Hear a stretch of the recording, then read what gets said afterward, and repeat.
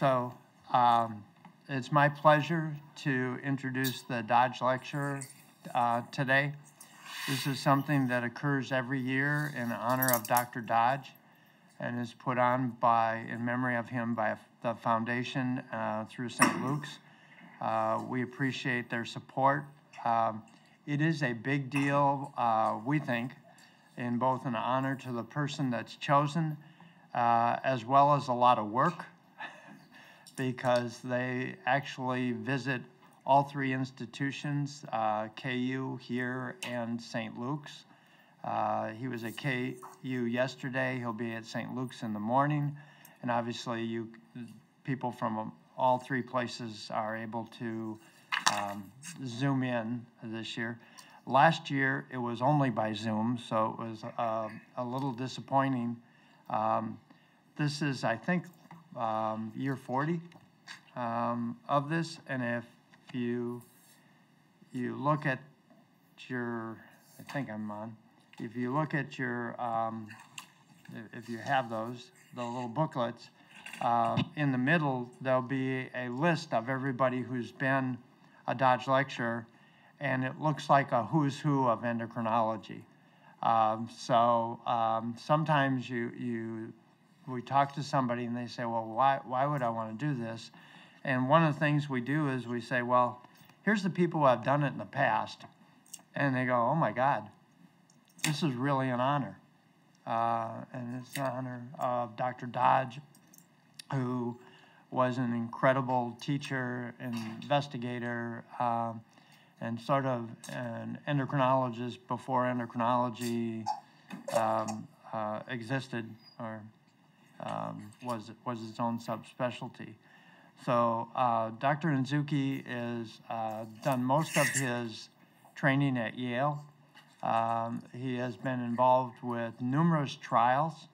Um, he is interested in diabetes but uh, is also particularly interested in the uh, interaction between diabetes and cardiovascular issues, uh, which is a hot topic.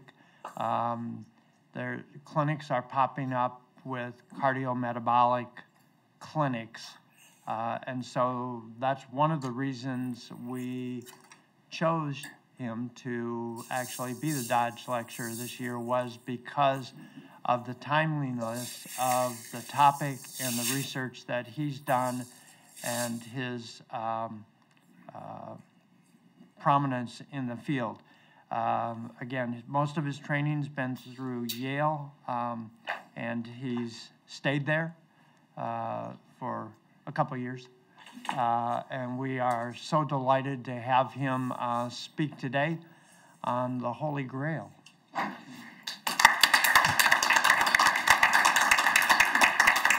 Thank you very much, Lamont. Uh, no one else will have me. That's why I stayed at, uh, at Yale University.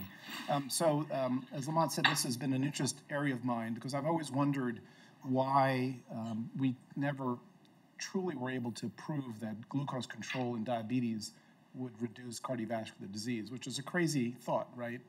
Uh, it's the most common uh, complication of diabetes. It's the reason our patients with diabetes die from coronary disease, stroke, and heart failure. But as I'll take you through this story, we were never able until recently uh, to demonstrate that anything we did as endocrinologists actually uh, bent that curve.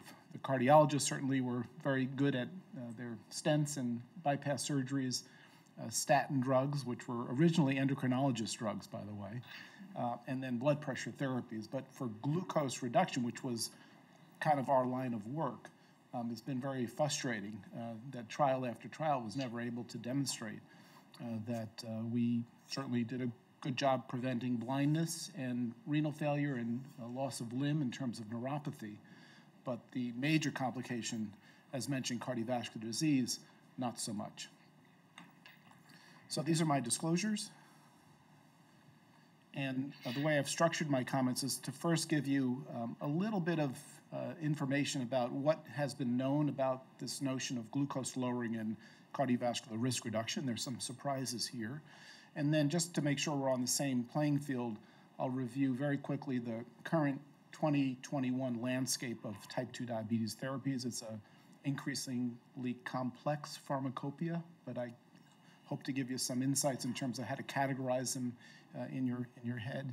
And then we'll uh, go through three drug classes, two of which have now been kind of uh, edified in the guidelines for cardiovascular risk reduction in those patients at cardiovascular risk, the SGLT2 inhibitors and the GLP-1 receptor agonists. If you've heard about these medications, um, I'll hope to give you a little bit more insights in terms of what their impact is on cardiovascular as well as renal risk.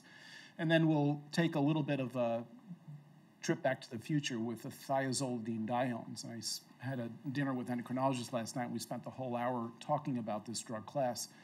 Some of the older physicians in the audience may remember the heyday of the TZDs, the so-called glitazones, uh, back in the early 2000s.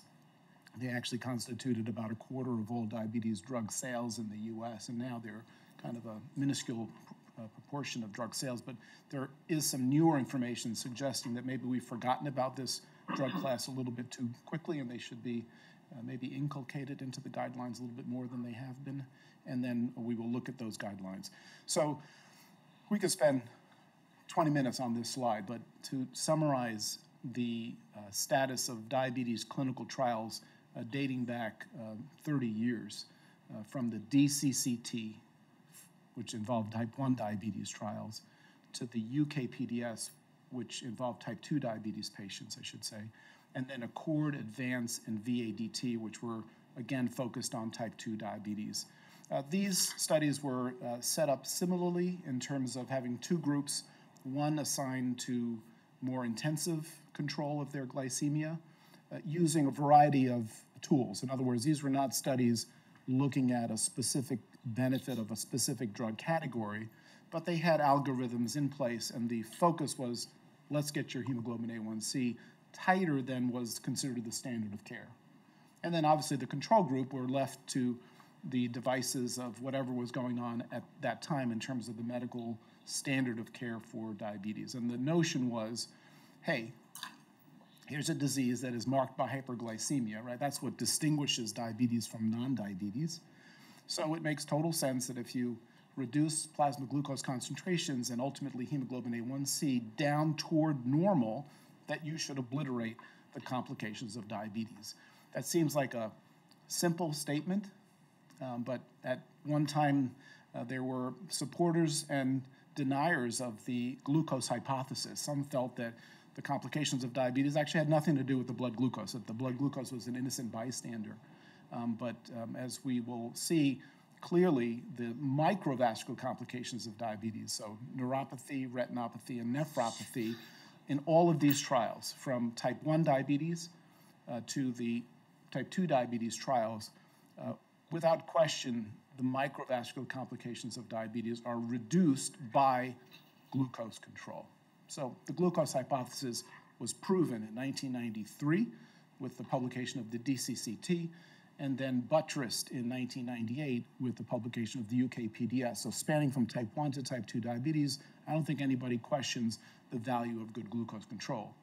You can say that, you know, in older patients who are in their late 70s, early 80s, uh, that the price of diabetes control in terms of increasing risk of hypoglycemia may not be worth the benefit at that age. I mean, so what? You prevent a little albuminuria. Who cares? Who dips their urine every day, you know?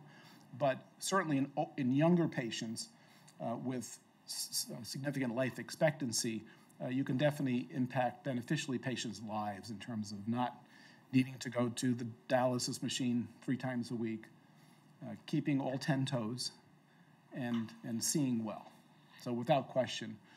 On the right hand side of the slide and in the middle, you see uh, the bad news about diabetes clinical trials, which is that uh, investigators have tried for years now, again, dating back to the 1980s when the DCCT was started. So, gosh, more than 40 years actually, that uh, invariably the quality of glucose control did not have any significant impact on the development of the CV complications, so macrovascular uh, disease. So neutrality was achieved, meaning that irrespective of which arm of the trial you were randomized to, tight control or, or standard looser control, the CV events were about the same. There were maybe some trends, but nothing statistically significant. Nothing, no home run here in terms of, yes, glucose control prevents myocardial infarction or stroke or CV death. In fact, the Accord study, which was actually terminated early, I believe in 2008, um, because they, the, the Data Monitoring Safety Board, DF, Data Safety Monitoring Board, DSMB, that is an independent body that looks at the data in an unblinded fashion in most circumstances, actually detected a puzzling increase in mortality in those patients that were randomized to the more intensive arm of the trial. That's right, an increase in mortality. So they actually said, what's going on here? Let's terminate the study and figure out what is driving this risk increase, which was surprising. So I, I must tell you that this led to a lot of um, depression in our field because not only couldn't we prove that we were doing good by our patients, but here's now the suggestion that we're actually doing harm by our patients. And that led to lots of additional studies trying to figure out what was going on.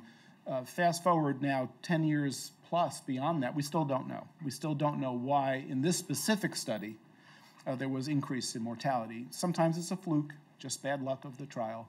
Uh, obviously, the main question that people had was could this relate to hypoglycemia? Because there was lots of insulin therapy used in this trial, and clearly three times more hypoglycemia, including severe events.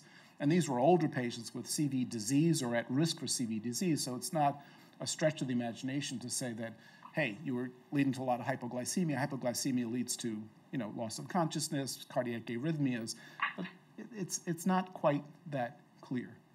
In fact, the people in the Accord study that ended up dying were the people who were in the intensive control arm of the trial who did not get their hemoglobin A1C down.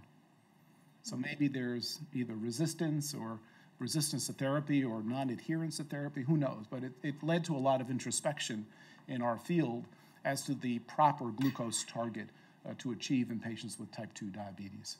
So lots of bad news in 20, 30, 40 years of diabetes clinical trials.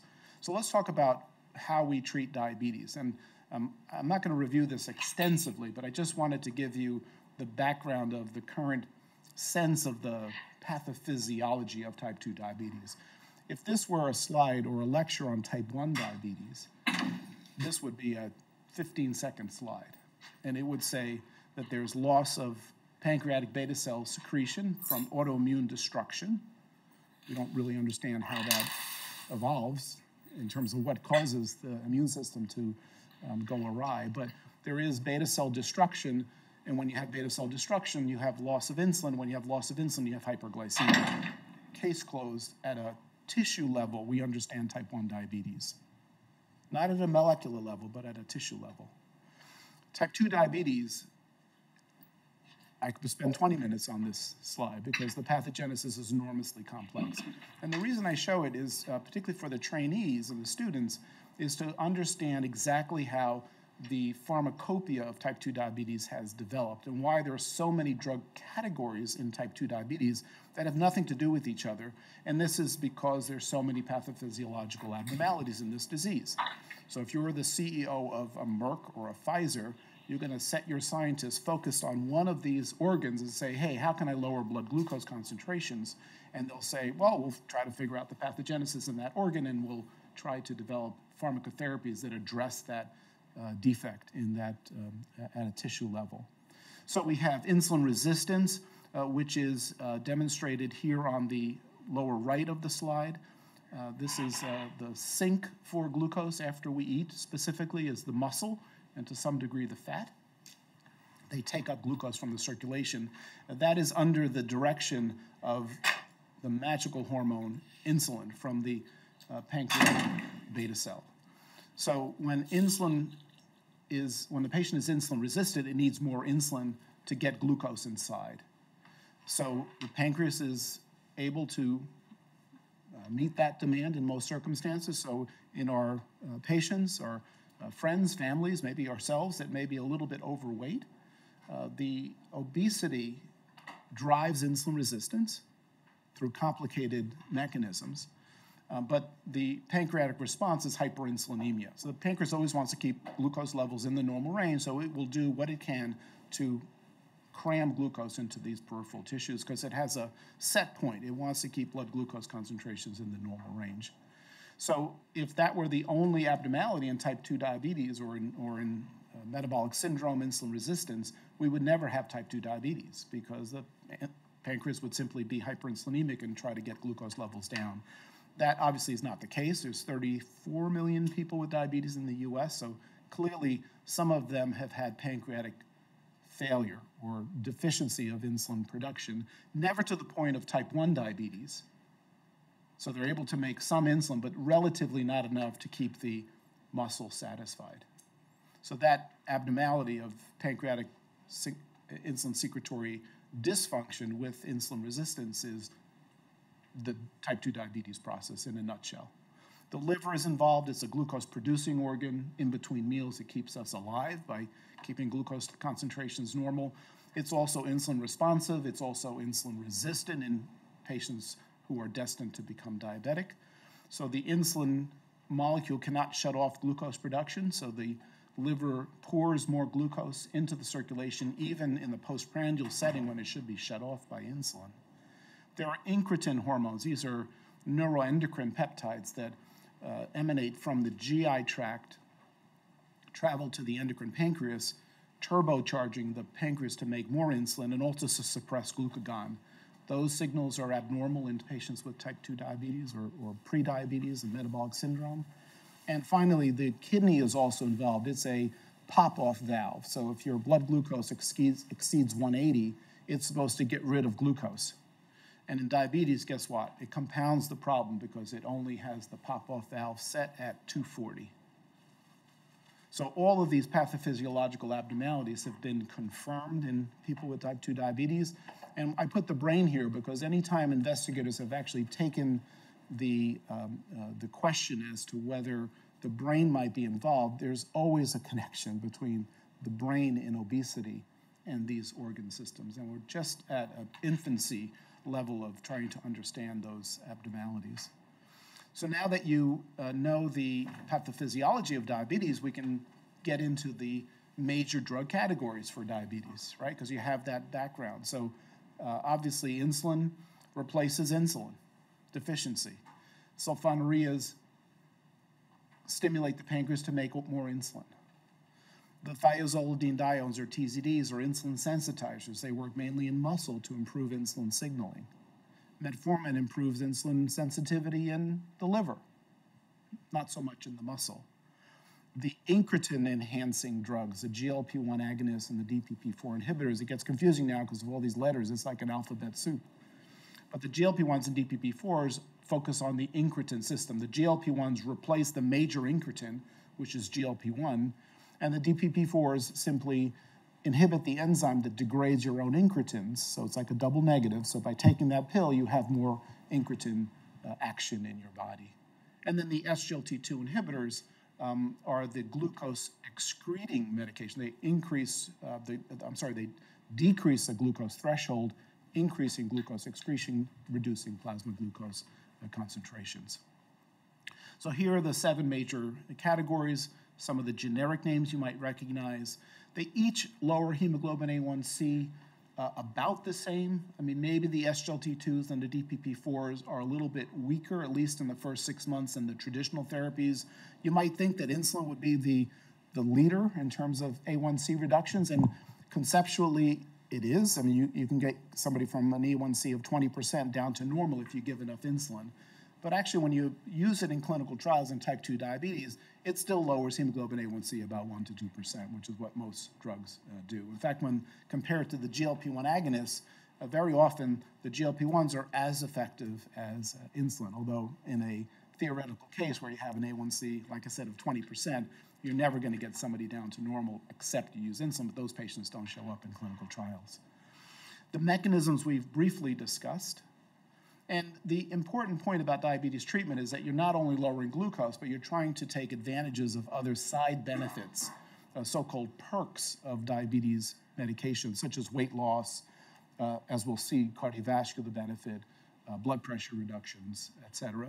And also consider that there are many negatives of diabetes treatments. There's very few lunches in, uh, there are very few free lunches, I should say, in diabetes management, maybe with the exception of, of the DPP4 inhibitors, which are pretty bland drugs. In fact, they're not that effective, as mentioned, but they've become exceedingly popular, less so now with the advent of the SGLT2 inhibitors, but at one point, the DPP4 inhibitors were uh, certainly surpassing the sulfonylureas, which had a 40-year head start on the DPP4 inhibitors, and we're closing in on metformin sales in terms of uh, what was uh, being prescribed in the U.S. And the reason being is that I told you they were amongst the least effective of agents, but the reason that they were so popular is that they were the drug category associated with the least phone calls from patients because they were so bland that patients just had very few side effects. And then let's not forget that there's a significant cost with some of the newer products. Um, I'm not sure I included the cost slides, but just to give you an example, metformin and sulfonylureas and even generic pioglitazone, which is a TZD, is somewhere between four and uh, maybe $10 a month. Where some of the newer formulations, particularly the highest doses of GLP-1 agonists, are over $1,000 a month. So that's almost a hundred or more than a hundredfold difference in terms of uh, using them. That needs to be considered as well when you're making your prescribing decisions. Now, the talk today is based on cardiovascular complications, and I hope I've convinced you that glucose control by itself does not have a significant impact on uh, major cardiovascular uh, events in patients with type 2 diabetes. And now I want to discuss the specific question about using a particular agent in cardiovascular risk reduction. So I must admit that there's not a lot of trials here looking at particularly insulin and sulfonylureas, but what we can deduce from the literature is that insulin itself does not have any specific benefit on cardiovascular events in type 2 diabetes.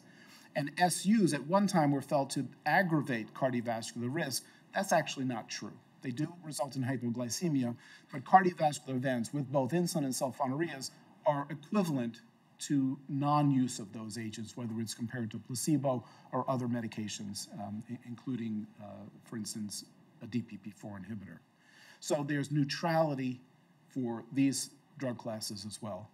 What about metformin? Well, metformin, uh, we uh, teach that is a cardiac-friendly uh, medication, and these are the um, uh, data from the UKPDS. Unfortunately, it was a very small sub-study within the UKPDS, so the robustness of this data is just not there. But having said that, when you compare it to diet, which we would never do nowadays, you were, you were allowed to get the blood glucose, I believe, up to 240 with diet in the UKPDS without intervening. Um, metformin seemed to have a reduction in myocardial infarctions, as well as in cardiovascular mortality compared to the placebo arm. Not statistically different, by the way, than insulin or SUs, but insulin SUs were not statistically different from uh, conventional uh, diet as well.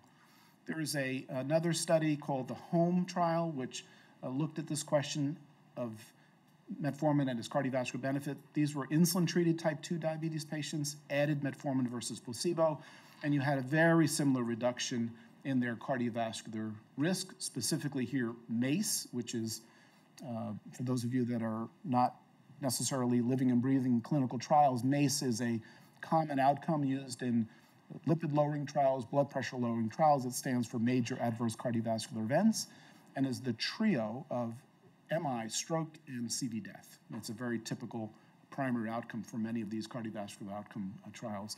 So this is the MACE effect in favor of uh, metformin, 0.61, which as you remember was exactly the hazard ratio or the risk reduction, I should say, uh, that was seen in the uh, metformin arm of the UKPDS. So there's probably something here, but this study was even smaller. It was only 390 patients. This is all mainly in the pre-statin era. There'll never be a large CV outcome trial with uh, metformin. Actually, there is one underway. I should uh, not say that at, in the VA, but it's mainly focused on pre-diabetes uh, uh, patients. so I don't think we know about uh, metformin uh, specifically. What about the thiazolidinediones? These were the glitazones. Again, they were very popular about 15 years ago, less so now. This is pioglitazone, which is the uh, TZD that is suspected of having the best cardiovascular data, and this is from the PROACTIVE study. This is MACE, and there was a 16% relative risk reduction uh, in favor of pioglitazone. So suspected to be anti-atherosclerotic, unfortunately increases heart failure because it increases fluid retention and in comprom- compromised uh, ventricles, such as patients with um, uh, burgeoning heart failure or uh, diastolic dysfunction, you can actually induce heart failure uh, events. And it's actually interesting from a um, historical perspective uh, to note that in proactive, overall, there were 57 fewer events for MACE in favor of pioglitazone, and there was exactly that number 57 additional events of heart failure hospitalizations, leading um, uh, to the intelligent question of, you know, what is the risk to benefit ratio from the cardiovascular system uh, when using uh, pioglitazone? We personally feel that you can mitigate the heart failure risk with lower doses, and this was the full 45 milligram dose uh, in uh, Proactive. And I'll show you some additional data uh, with a, a prediabetes trial with uh, pioglitazone later on. So question mark for metformin, kind of a plus minus for TZDs, but no home run yet, despite decades of uh, cardiovascular outcome trials in uh, diabetes. So now we get to the um, more modern therapies, uh, beginning in about 2006. So the DPP4 inhibitors, GLP-1s, and SGLT2 uh, inhibitors.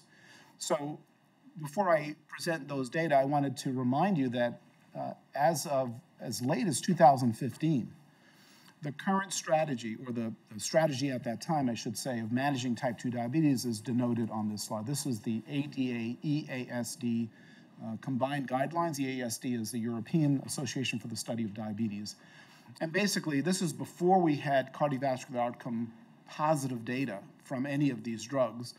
The writing group felt that, you know, you started with lifestyle, you tried to lose weight, eat healthy, and then you gave metformin as number one drug, foundation therapy. It was cheap, it was maybe cardiac friendly, um, no hypoglycemia, a few pounds of weight loss. It seemed, it seemed like a good drug to use. You had to be careful in renal patients because of lactic acidosis, but for the most part, it was a reasonably good uh, starting point for diabetes treatment. And then we know that if uh, you follow patients long term with diabetes, they often require layers of therapy because the beta cell dysfunction that I started the talk about continues as people get older. Beta cell function continues to decline, and you need additional therapies to maintain glucose control. So you added a second drug. So combination therapy, just like we use in hypertension, became the standard. So if you were a traditionalist, you would add a sulfonylurea, like glipizide. If you believed in insulin resistance being the fundamental abnormality of diabetes and you bought into this concept of insulin resistance driving cardiovascular risk, which is plenty of data suggesting that, you used a TZD as long as you were cautious with dosing and be careful not to use it in patients with heart failure. If you didn't like phone calls from patients, you'd use a DPP4 inhibitor. If you were uh, coaxed by new drugs, you know, this is a newer, sexy compound coming out in 2014, uh, increased glucose excretion, lowered blood pressure, lowered weight, maybe a cardiovascular benefit, you'd use that. If your patients didn't mind injecting, you try to convince them to use a GLP 1 agonist, particularly if they were obese and especially if they wanted to lose weight, because this was a drug category that was associated with the most weight loss. And if you thought that the patient was not going to respond for whatever reason to any of these agents, you'd use insulin and insulin had the advantage of being able to completely titratable and ultimately you might need to use combination uh, injectable therapies such as might be seen in a type 1 patient basal insulin plus mealtime insulin. And we also got um, familiar with basal insulin plus a glp-1 which actually that combination is just as good as basal insulin and mealtime insulin in terms of a1c reduction. And because some of the compounds got to once weekly dosing the choice of the patient was clear as long as they had good insurance. Would you rather take one injection of nighttime basal insulin and once weekly injection of a GLP 1, Or would you rather have one injection of basal insulin at night and three injections of mealtime insulin and having to check your blood sugar before each meal? So what is that? That's three times seven is 21, plus the seven basals is 28 injections per week, or seven plus one, which is eight. So from a patient's perspective, they certainly, as long as they didn't have any GI intolerance to the GLP-1, they would go with that. And from a physician's perspective, you got just as good A1C control. And not only that, you got weight loss instead of weight gain, and you had less hypos instead of more hypos. So it's kind of a no-brainer in most patients. Obviously, there are some patients with very anemic beta cell uh, function, which needed insulin no matter, no matter what. So you'd march through from monotherapy to dual therapy to triple therapy and ultimately to combination injectable therapy. But importantly, uh, there was no mention at all in these guidelines about cardiovascular risk. Obviously, you lower blood pressure with uh, ARBs or ACE inhibitors. You lowered LDL with uh, statins. You gave antiplatelet therapy. So it wasn't like you didn't address cardiovascular risk, but from a glucose control perspective, uh, there was no mention of cardiovascular impact of these uh, therapies. And then the world really changed in 2008. And in that year, it was the regulatory bodies that drove the pharmaceutical industry uh, to conduct uh, long term, big cardiovascular outcome trials, or CVOTs, I may use that acronym, uh, in order to demonstrate, at the very least, cardiovascular safety, if not efficacy. So, this was the um, guidance to industry from the FDA that was released in late 2008 and became enacted essentially in 2009. And this, I won't go into the details in terms of, you know, what they wanted in terms of numbers of patients and hazard ratios, but the bottom line is the FDA told the pharmaceutical industry, if you're bringing a new drug to market in the U.S., you have to show at least that the drug is not increasing cardiovascular events because there had been some uh, drugs that had been terminated in clinical development because of the suggestion of cardiovascular risk. So this basically set the playing field, saying that you know we want you to do these many patients, this number of years, uh, to convince us that you're not having increased cardiovascular risk. Now, the pharmaceutical companies obviously complied with that guidance, or they wouldn't get their drugs to market, but also uh, started thinking about adding a few thousand patients to these trials to not only prove non-inferiority, but also to prove superiority, because they had the sense that some of their drugs may actually be the holy grail in terms of reducing cardiovascular risk as well as lowering glucose. So this is what uh, happened with these uh, trials, is there was this huge um, uh, push to get thousands of patients in these CV outcome trials beginning in 2009. And the DPP-4 inhibitors were first, then the SGLT2 inhibitors, and then the GLP-1 receptor agonists.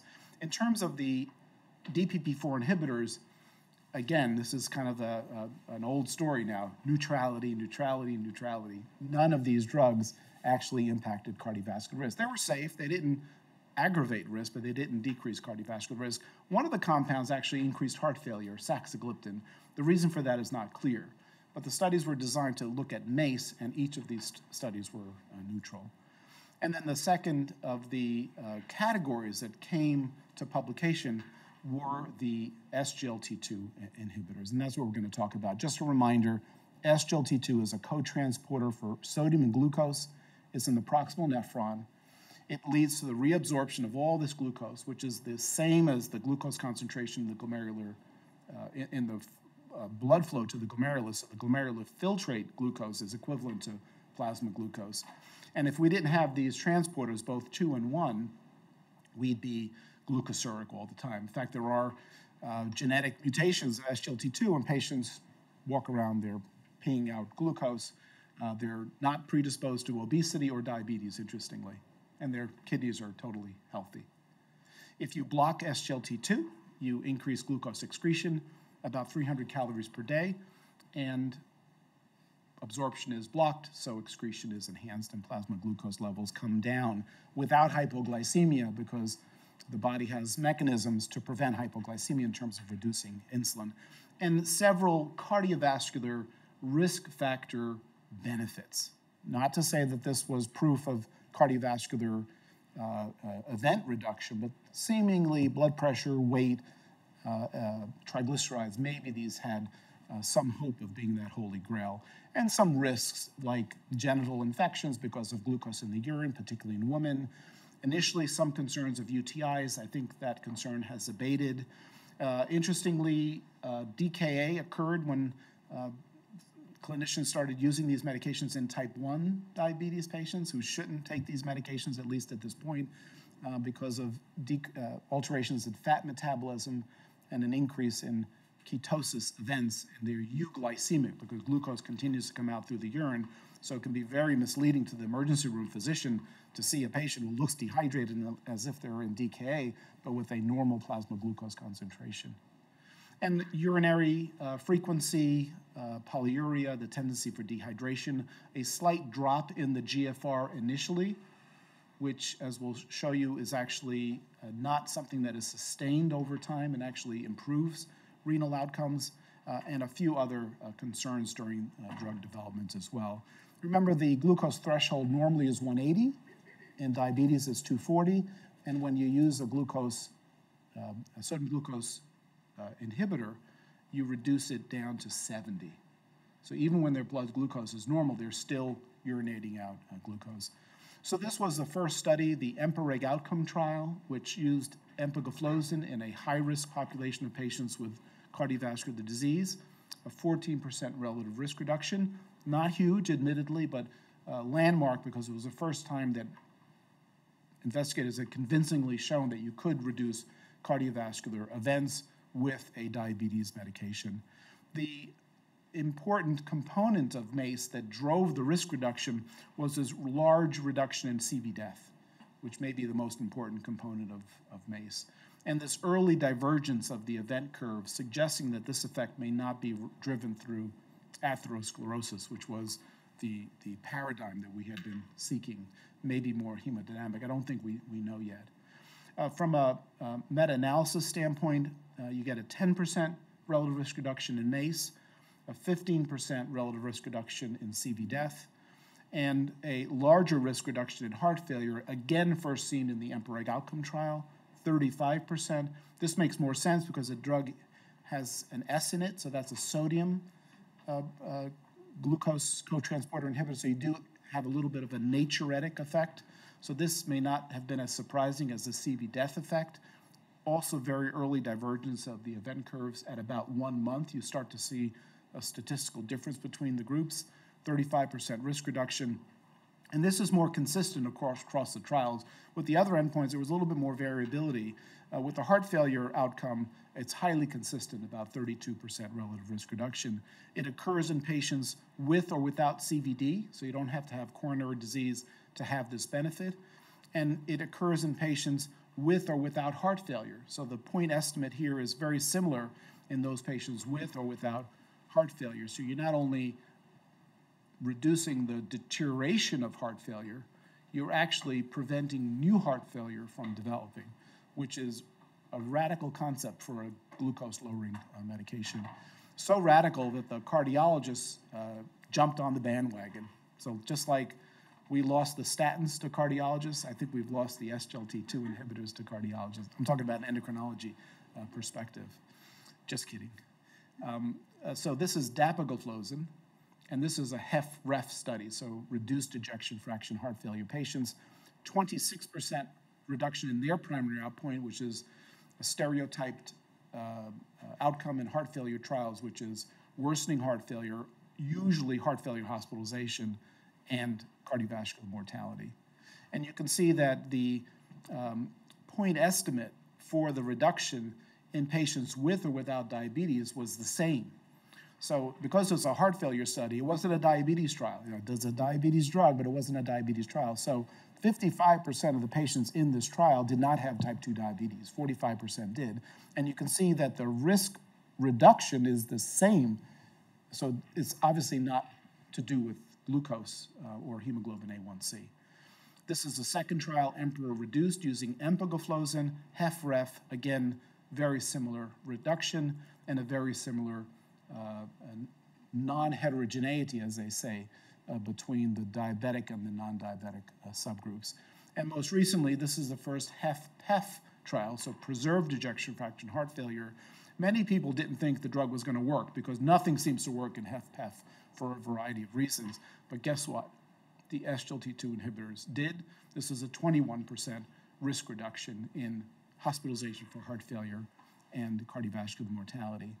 The kidney, also surprising because when the drugs were first developed, we wondered if this would be a terrible idea for the kidney to have all this glucose. You know, maybe there's uh, some glycation end products that's going to harm the kidney. Uh, but remember, the patients with familial um, renal glucosuria, FRG, which is that mutation that uh, leads to inhibition of or, or uh, no SGLT2 uh, uh, transporter in the nephron, they actually survive with normal kidney function, normal life, lifespan. Um, so maybe that concern was, was misdirected. But the data is here. So worsening nephropathy, um, you'd rather be on the red line than the black line. So this is a significant 39% reduction in the progression of CKD. And this is that initial dip that I talked about before. There was a concern initially. You lose about three to five milliliters per minute on your GFR. But that's hemodynamic. It's like what you see with a RAS blockade, like an ACE inhibitor or an ARB. And you can see that over time it stabilizes. And in the non treated group, placebo, you get slow decline. So at the end of the day, you actually have better renal function if you're taking the SGLT2 inhibitor. And indeed, across a meta analysis, the risk reduction is 38%. These are huge numbers. And, you know, the nephrologists have also jumped on the bandwagon because they haven't had a new drug to treat uh, kidney disease, specifically diabetic kidney disease, uh, in uh, 25 years uh, with the ARBs last time I checked. Um, now, that outcome here um, is uh, not a hard outcome. This includes macroalbuminuria, which I don't want. I don't want my patients to get, but nephrologists kind of smile at that because it's not considered uh, a hard outcome. It's the equivalent of an unstable angina hospitalization in, in the cardiovascular world. So now, if you look at hard outcomes, which is about as hard as you can get dialysis, trans- transplantation, or renal death you get just as good a benefit. So you don't have wider confidence intervals, perhaps, because the event numbers are lower. But the point is, is that this is not just an albuminuria effect, it's actually an effect on renal function deterioration. And the first of the renal trials are seen here. This is the DAPA CKD trial using dapagliflozin, 39% hard outcome reduction. And just like with Emperor uh, uh, series and DAPA HF, they recruited patients with or without diabetes. Now, because they mandated albuminuria as an enrollment criteria, you were enriched with diabetes patients. So instead of the 55 45 non DM to DM ratio in DAPA HF, in DAPA CKD, it was more like two thirds, one third, two thirds uh, patients with diabetes. Yet the hazard ratios, if anything, at least by the eye, not to the statistician's eye, because the p-value for interaction, meaning the heterogeneity between these effects was non-significant, but to my non-statistician's eyes, it looks like the effect may be even a little stronger if you don't have diabetes. So Credence was a third trial, but that was solely in diabetes patients. We talked about DAPA-CKD, large benefits. EMPA-KIDNEY is next, that'll be out next year. And this will be interesting because albuminuria is not necessarily mandated in that trial.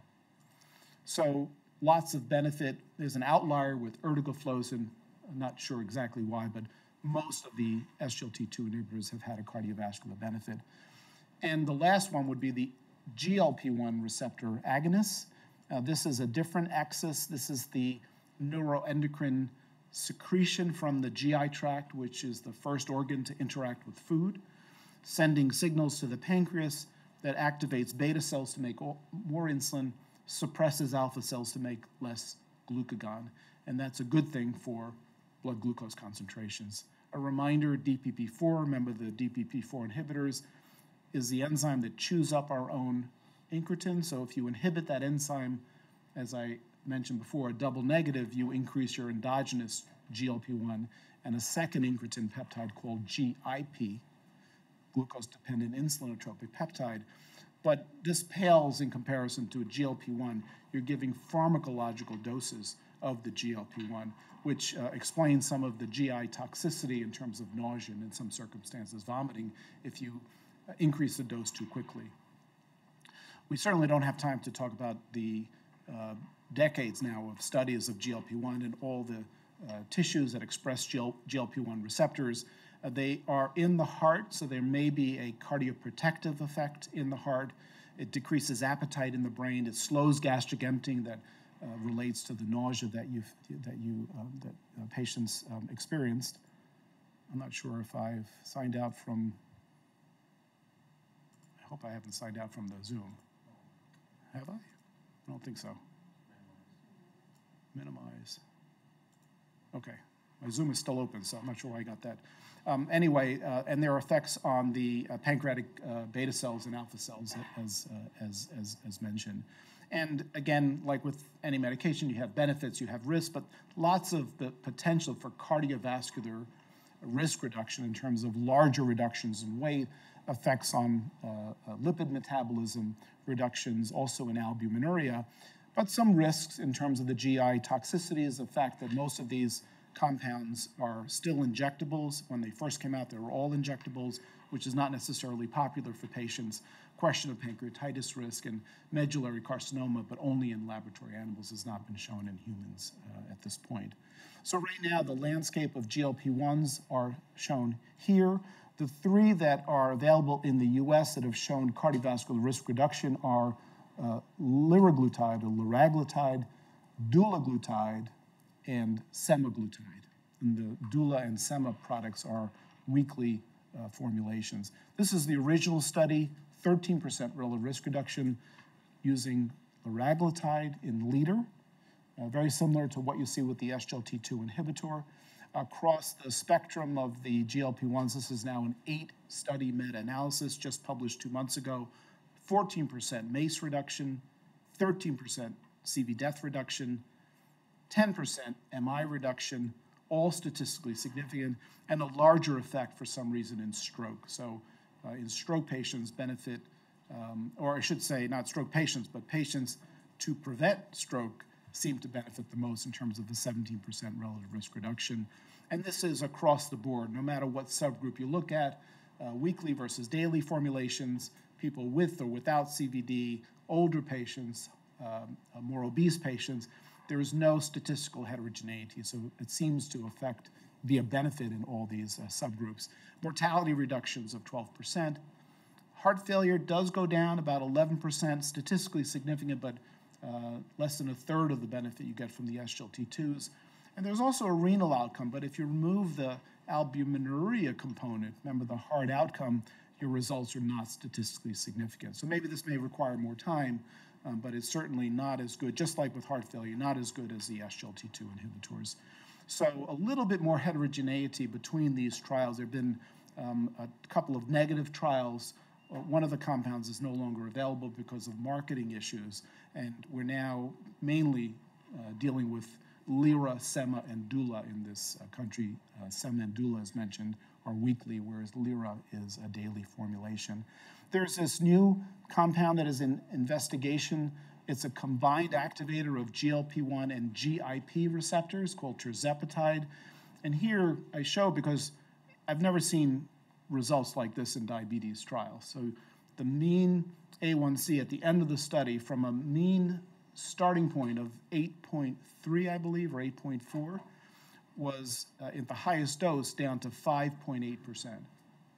Almost approaching not only the non-diabetic range, well, you can't use that term terminology if you're treating with the diabetes medication, but almost in the, in the lower than the pre-diabetes range. It's extraordinary. And, uh, uh you know, 2.5% reductions in A1C. And that's driven by this huge reduction in body weight. So you get a 12 kilo loss, which is a 13% reduction in, in, in body weight. So if you think about that, that's, that's uh, 27, 28 pounds, um, which is starting to flirt with the lower uh, bound of the confidence intervals for what you get with bariatric procedures.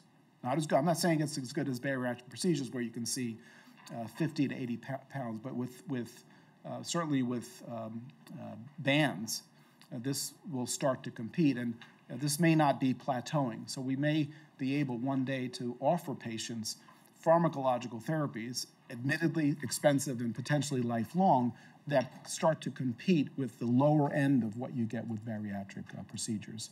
So neutral, positive for uh, the cardiac benefit, uh, for the GLP-1s, also for the SGLT2s, with the additional renal benefit of the SGLT2 inhibitors. So I wanted to just, before I conclude, give you this little peek to the history of uh, TZDs and some new information uh, regarding their cardiovascular benefit. So I won't get into the sordid history of what's happened to the TZDs, but lots of concerns about side effects in the early 2000s, and they're now down to about 5% of diabetes drug sales from a peak of about 25% in 2006, 2007. Uh, we were um, uh, stupid enough to begin a uh, pioglitazone study right before all those adversities became known. So this is a very difficult study to complete uh, because of concerns of investigators and patients. Um, so I'm always amazed we're able to actually finish this study uh, in the face of all the bad press about pioglitazone. But we took stroke patients who did not have diabetes but had insulin resistance. This is an equation looking at their insulin and their glucose levels. And uh, those patients with the highest insulin levels have the highest HOMA value, and we included them in the studies if they had insulin resistance based on the HOMA. We randomized them to PIO versus placebo over five years. And when you're recruiting patients with, pre, with um, insulin resistance and you're excluding patients with diabetes, you get a lot of patients with prediabetes. About two thirds of our patients, depending on definition, have prediabetes. And this is the outcome a 24% risk reduction in the primary outcome, which was essentially MACE. We called it fatal, non fatal MI or stroke. And also, the patients did not have diabetes. We prevented their diabetes by more than 50%, which has been shown in other TZD uh, trials. So let's go to the guidelines. So this is the old guidelines, right? They're kind of seem almost antiquated uh, just in the last five or six years. These are the new guidelines and this is from ADA EASD. It's complicated. We're not going to march through it specifically, but the money of this slide is on the left-hand side, which is what is the next step after metformin? So they still feel metformin is drug one, but if you need additional glucose-lowering agent, you ask three basic questions. Does your patient have CVD, heart failure, or CKD? And you can predict, if you've been paying attention, what the next step would be. So if you have CVD, either or GLP-1 or SGLT2. If you have heart failure or CKD, then an SGLT2. It's, it's, it's that simple.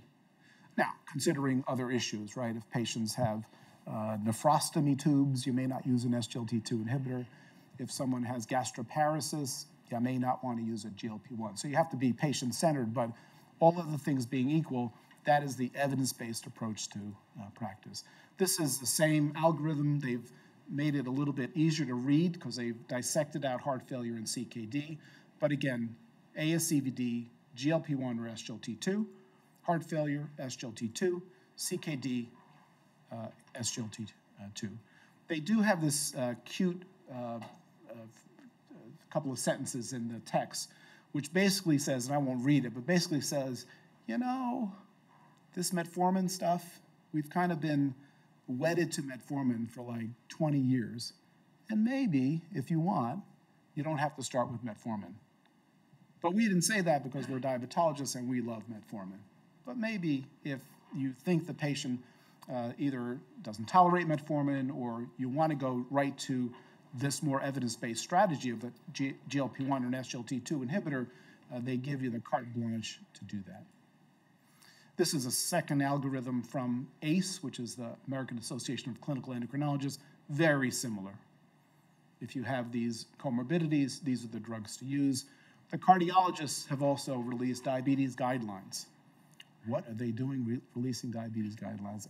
We don't release coronary artery disease guidelines, but uh, I'm teasing, but it actually is interesting. Uh, we've done a, stud, study with uh, Dr. Kosiborod, who's here in Kansas City, and we showed that if you are a cardiologist, either in New Haven, where I come from, or in K Kansas City, you see four times as many diabetic patients with CVD as does a diabetologist or endocrinologist. Now, that might be simply that there's four times as many cardiologists as endocrinologists. If you have heart failure, your chances of seeing a cardiologist are eightfold more frequent than seeing an endocrinologist. So clearly, if you want to change practice, you got to speak to cardiologists. They have to understand the data and be bold enough to, at the very least, make suggestions to their primary care colleagues or even their endocrinologists to adjust the therapy in order to take advantage of the cardiovascular benefits. So here they're uh, pushing the envelope a little bit in that they say drug naive patients should just go to the SGLT2s or GLP1s, forget about metformin. And the diabetologists don't say that, but they kind of hinted that that may not be a crazy idea. So I'm going to summarize, and I thank you for your attention. The first point is that uh, correcting the major defect of diabetes, which you know last time we checked was glucose, hyperglycemia, doesn't do all that much for cardiovascular disease risk reduction. In terms of the older agents, SUs, insulin, no effect. Metformin, maybe. Data set, small, not robust. TZDs, confusing. Maybe an athero benefit, uh, but a heart failure risk, so not a clear home run there. So in 2008, FDA started mandating show me the money, tell me that your diabetes drug is not only lowering glucose, but at least safe for the heart. And the first series of these trials with the DPP4 inhibitors showed that they were safe but not effective in reducing cardiovascular risk. In contrast, two drug categories, SGLT2s, GLP1s, have clearly demonstrated modest reductions in cardiovascular events, large reductions for the SGLT2 inhibitors for heart failure hospitalization and the progression of CKD. And don't forget about pioglitazone. I still feel that when dosed in uh, small amounts, maybe 15, not pushing the dose to 45 milligrams, you can mitigate the heart failure risk. And I feel there's a, still a potent anti-atherosclerotic effect of this medication, and maybe it requires a second look. And clearly, all of these data, just over the last five or six years, after decades of searching for the Holy Grail, have finally begun to affect the guidelines, which really start to change practice, favoring uh, at least SGLT2s and GLP-1s in the prevention of patients with uh, CVD or at risk for CVD. With that, I thank you again for your attention. I'd be happy to take any uh, questions or comments you might have. Thanks very much.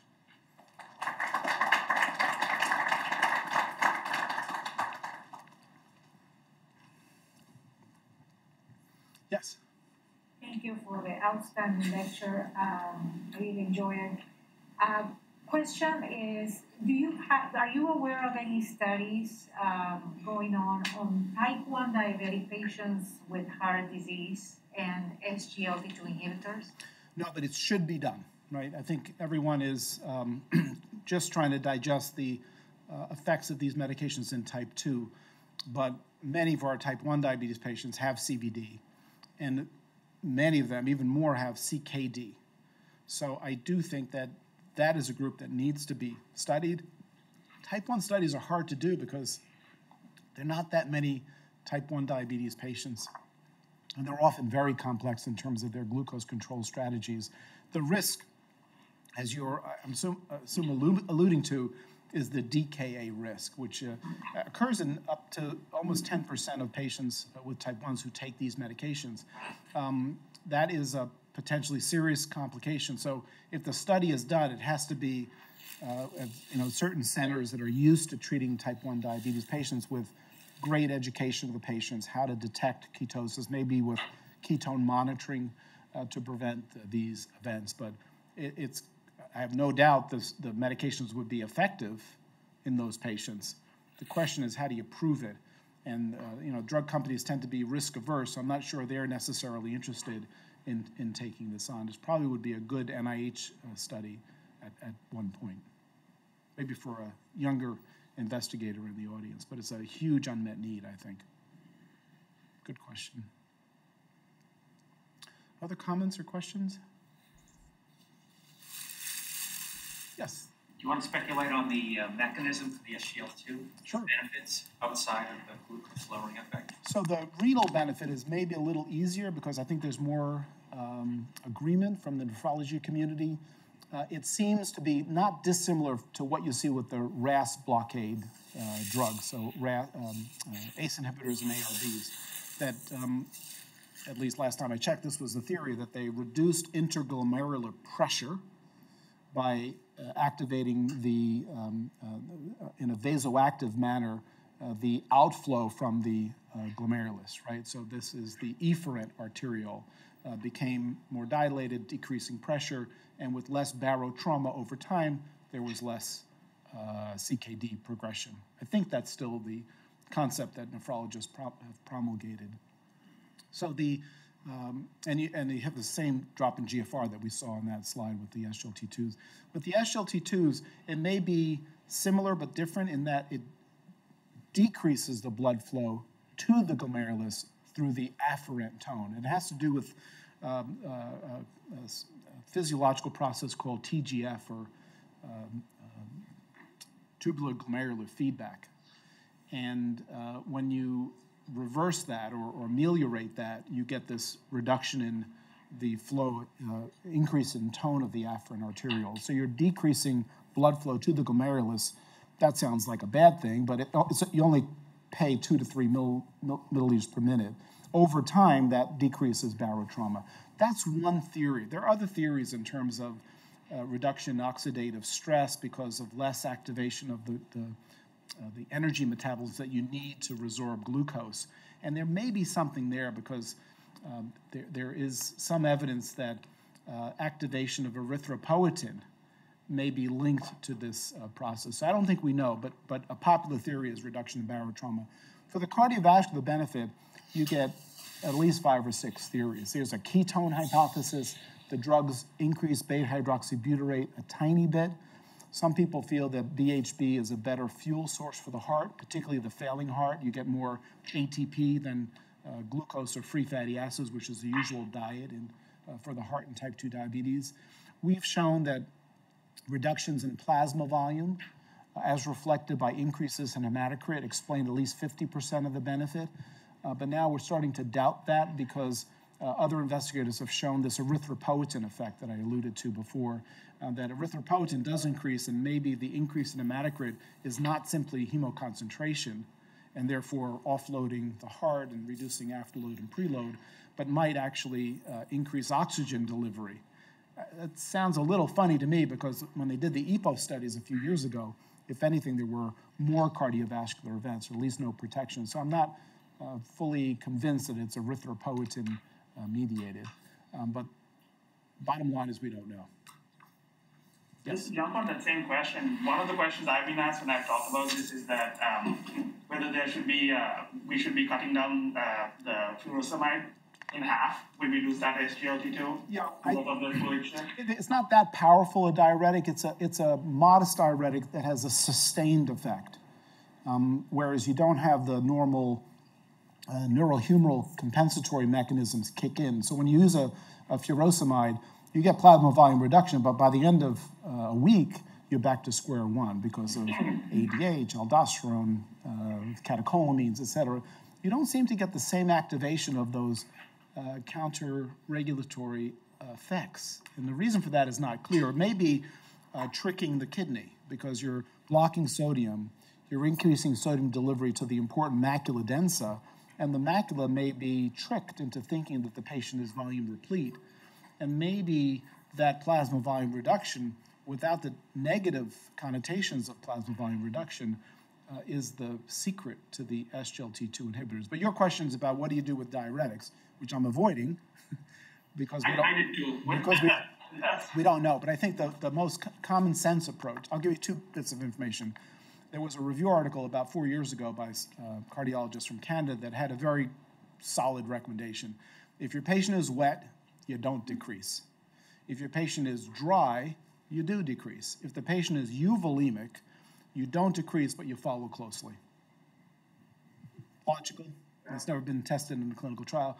And the last bit of information I'll give you is that I was involved in the DAPA HF trial, and I was terrified that these patients who had HFrEF with mean uh, LVEFs of around 30%, I believe. So these patients had, you know, real uh, reductions in their LVEF, and they were all on loop diuretics, or the vast majority were. And I was terrified that we're going to give this new diuretic to these patients, and we were going to have a lot of AKI.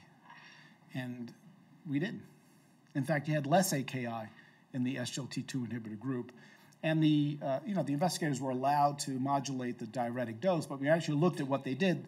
Most of them did not. And these were heart failure cardiologists that are very skilled in managing, um, you know, extracellular fluid volume, I would assume. And that was the class effect? That, was the class effect with all the SGLT2s or just with the DAPA?